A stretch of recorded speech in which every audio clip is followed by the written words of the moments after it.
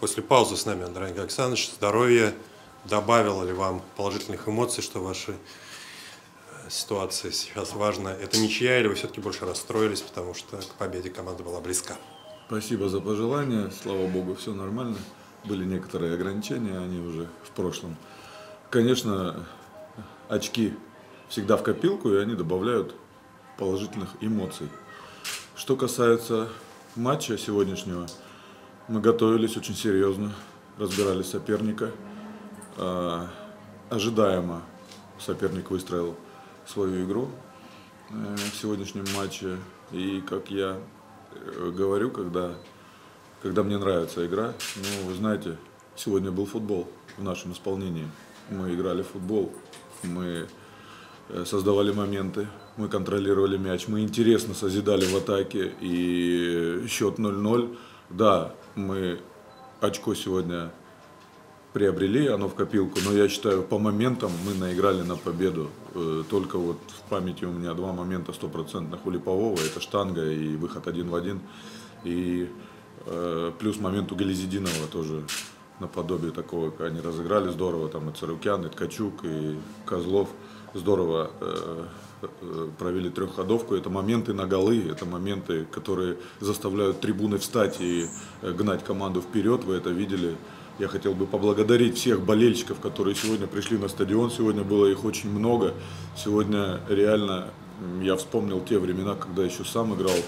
И стадион гнал вперед, и волна была. Сегодня было много болельщиков. Я хотел бы сказать искренне большое спасибо и болельщикам, которые может быть, не так часто ходят, и тем болельщикам, которые постоянно за воротами нас поддерживают и э, вместе и до конца, это сто процентов. От себя лично хотел бы поблагодарить э, за поддержку, которую э, дали мне в, в минуты, когда немножко приболел.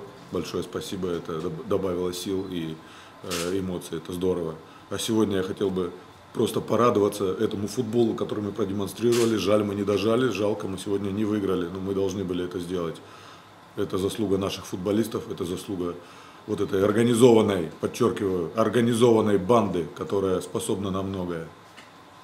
Они не скромные, они делают, делали и будут делать.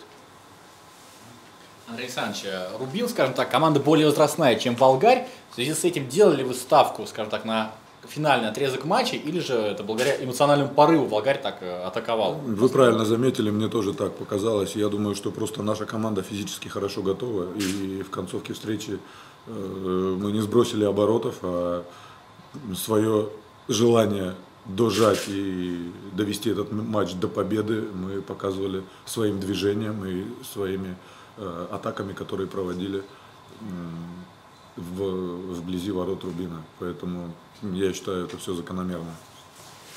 Спасибо. Чего не хватило больше сегодня? Удачи или же все-таки э, может какого-то исполнительского мастерства, может быть каких-то нюансов, там, я не знаю, вам виднее, вы были футболистом, мы футболистами не были потому что матч попадал и в штангу, и ну, действительно было очень много моментов для, для игры с такой командой, какой является Рубин. Ну, конечно, все в совокупности. Но не хватило и исполнительского мастерства, и любой гол. Ну, не бывает забитый гол, чтобы там не было элемента везения фарта. Это всегда так в футболе. Но и исполнительское мастерство, оно тоже не менее важно. Поэтому здесь как-то в совокупности. Чуть поудачливее уже Данил Липовой уже увидел мяч в воротах, а он, зараза, не закатился. Хотя момент был на гол и топовый момент создали. Поэтому, ну, все в совокупности. И, ну, и исполнительского мастерства чуть не хватило, и везения немножко не хватило. Сегодня Волгарь прервал свою очень длительную серию, которая началась еще в прошлом году с забитыми голами. Поэтому и такой вопрос. И Волгарь на глазах меняется. Э, если раньше вы больше думали, ну, может быть, нам так казалось, как сохранить ноль, то теперь вы больше думаете об атаке. Это действительно так, или это такое ощущение после сегодняшней эмоциональной игры? Мы играем организованно, дисциплинированно э, во всех зонах, в первой, второй, третьей. Ну, если вы э, обратите внимание, если в средней зоне мы обороняемся, у нас порядок в обороне. Если нас соперник отодвигает немножко ниже, ну, также обороняемся компактно, надежно э, на своей половине поля. Сегодня многие моменты складывались так, что при отборе мяча нам удавалось проводить атаки. Проводить атаки и отодвигать игру на чужую половину поля, тем самым владеть инициативой, владеть мячом на чужой половине поля. Поэтому э, игра на игру же не похожа, правильно, и соперники разные. Плюс наше состояние не одинаково в каждую игру. Этот цикл был, допустим, немножко короче. Я опасался, что успеем ли мы восстановиться э, после такого перелета, там не совсем простая логистика у нас была, добирались из Ульяновска. Но тем не менее, хотел бы поблагодарить еще раз наших футболистов, они молодцы. И сегодня был футбол, и я очень рад и горд за нашу команду. Юрий Анатольевич Кульбаев, главный тренер одной из лучших команд первенства, одного из лидеров, который здесь приобрела очко по тому характера игры. И все-таки вы в любом случае их теряете в силу стоящих перед командой задач. Да, я думаю, что в большей степени потеряли, но к ребятам никаких претензий, они все, что мы планировали, выполняли, старались. Э, То есть такая обоюдоострая, я считаю, игра была, особенно во втором тайме. Вот. э, Команды имели моменты. Ну, Закончилось вот 0-0. И вратари сыграли хорошо, и штанги спасали, в том числе и нас. Я считаю, что, э, ну, во-первых, команда соперников не зря находится на таком месте, дисциплинированно очень играет, использует свои сильные стороны. Мы знали об этом, но ключи к обороне соперника не подобрали. Одной из сильных сторон и один из главных козырей Болгаря вы сегодня ну, дезавуировали, практически не было никаких стандартных положений у ворот Рубина. Так получилось или же это была установка, и безусловно, Да нет, мы вообще стараемся минимально нарушать правила на своей половине поля. А, Но сегодня такая игра была, что соперник, хозяева использовали быстрые атаки в основном, и особо там фалить приходилось только в центре поля, чтобы сорвать эти атаки. А, у нас достаточно квалифицированные футболисты и ростовые данные, физические да, возможности есть для того, чтобы минимизировать вот этот риск при стандартах.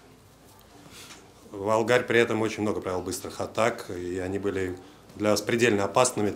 Это их заслуга или же ваш риск, который... Нет, нет, это козырь, да, козырь, э, козырь хозяев. Мы на этот риск шли, мы пытались большой группой игроков находиться на половине поля соперника. У каждого есть свои козыри, видите.